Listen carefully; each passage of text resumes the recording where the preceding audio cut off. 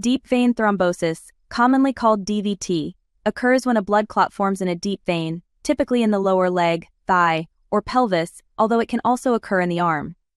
Symptoms of DVT can include unilateral redness, swelling, warmth, and pain in the affected extremity. DVTs can cause life threatening complications, including pulmonary embolism, a condition where the clot travels to the lungs, causing sudden respiratory distress and chest pain. The pathophysiology behind DVT formation involves three mechanisms known as Virchow's triad, which includes venous stasis, hypercoagulability, and vein injury. Venous stasis refers to slow blood flow, often caused by immobility, certain medications, and heart failure. Hypercoagulability may occur due to deficient fluid volume, pregnancy, oral contraceptive use, or smoking. Vein injury is often caused by fracture, severe muscle injury, or major surgery, particularly the abdomen, pelvis, hips, or legs. Venous wall damage may occur due to venipuncture, certain medications, trauma, and surgery. Chronic diseases like cancer, heart disease, and lung disease can also increase a client's risk for developing DVTs, as well as other risk factors such as obesity, central venous access devices, inherited clotting disorders, and a previous history or family history of DVT.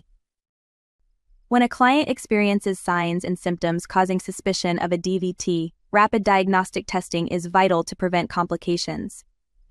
Diagnostic testing includes a D-dimer blood test to detect abnormal clotting activity and duplex ultrasonography to visualize disrupted blood flow due to the presence of a clot in a vein. If a pulmonary embolism is suspected, a computed tomographic pulmonary angiography is typically performed.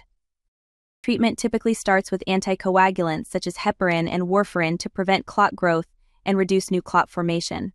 In severe obstructions caused by the clot, thrombolytic therapy may be used to dissolve the clot, or a thrombectomy may be performed. For recurrent cases of DVT, an inferior vena cava filter may be surgically inserted to prevent pulmonary embolism. Nurses play a crucial role in preventing DVTs by encouraging early ambulation after clients are confined to bed such as after surgery, serious illness, or injury. Routine health teaching is provided to prevent DVTs in clients at risk, such as stopping smoking, maintaining a healthy weight, avoiding a sedentary lifestyle, and wearing non constrictive clothing. During long periods of sitting, such as traveling for more than four hours, clients are encouraged to get up and walk every one to two hours or raise and lower their heels while keeping their toes on the floor.